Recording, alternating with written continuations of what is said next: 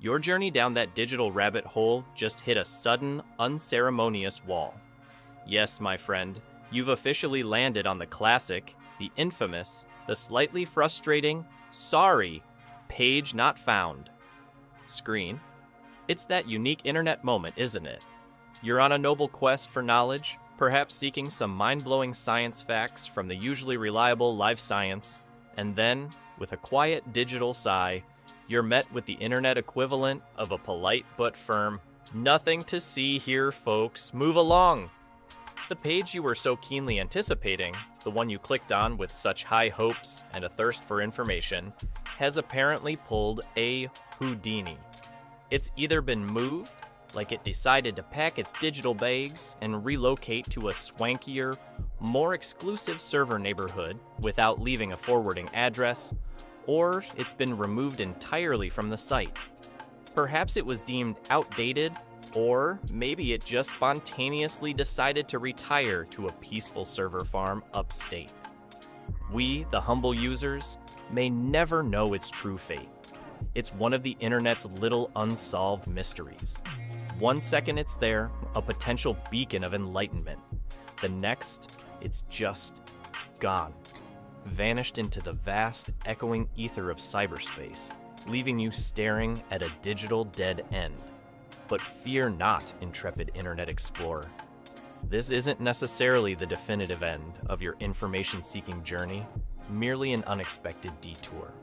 Live Science, understanding such common navigational hiccups, kindly suggests a couple of potential next steps.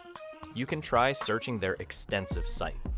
Think of it as embarking on a new mini quest, a digital scavenger hunt. Carefully type in your keywords, cross your digital fingers, and place your faith in their search algorithm to unearth the specific treasure you seek, or perhaps something equally fascinating. You might stumble upon an even better article, a hidden gem you didn't even know you were looking for. That's the beauty of serendipity, internet style. Alternatively, you can opt to hit the big, comforting reset button and start your adventure anew from their homepage. It's akin to going back to the main menu in your favorite video game after a level doesn't quite load. A fresh start, a clean slate, a whole universe of live science content patiently waiting. And what a universe it is! They cover an incredible spectrum space, health, planet Earth, animals, archaeology, physics, math, technology, human behavior, and chemistry. So, chances are high that even if that one specific page played an expert game of hide and seek and won, countless other captivating stories are ready for you. It's a remarkably common experience, this sudden encounter with a digital dead end. We've all been there staring blankly at that apologetic message. It serves as a subtle reminder that the internet, for all its perceived infiniteness, is still a fundamentally human made construct. It's dynamic, ever shifting, and therefore prone to changes, updates, and the occasional missing link. Pages come, pages go. So, take a moment. The page might be gone, but your curiosity doesn't have to be. Dive back in, try that search, head to the homepage.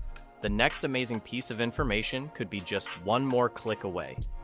Or you might find another 404, and that in itself is part of the grand, unpredictable adventure of browsing the web, keeping things genuinely interesting.